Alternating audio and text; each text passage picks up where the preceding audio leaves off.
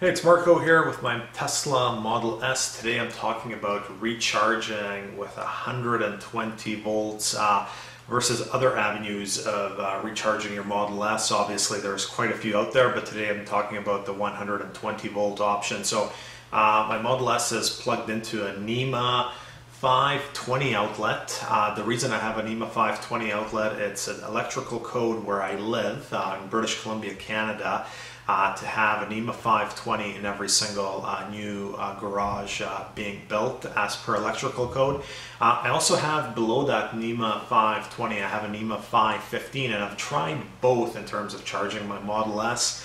With the NEMA 515, you get about 4 kilometers per hour. With the NEMA 520, you get about uh, 8 kilometers per hour. So even though there's only about a 25% difference in the amperage, uh, you get almost double the recharge rate with the NEMA 520. So why is that? Uh, that's because there's an underlying amount of power that uh, goes to powering the computer systems and the battery charging management system. So even though at uh, 20 amps uh, the Tesla pulls a 16 amps of current uh, compared to 12 amps of current in the 15 amp outlet, it recharges for me anyway at almost 8 to 9 kilometers per hour versus 4 kilometers per hour.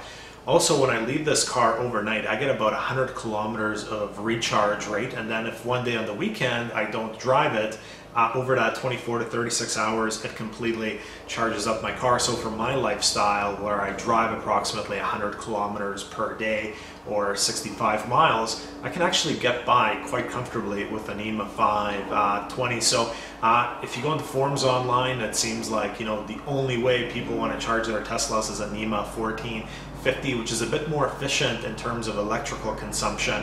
But uh, don't be fooled, uh, you can probably get away with a NEMA 520 as well, and the adapter for the 5 NEMA 520 NEMA is available at the Tesla accessory store.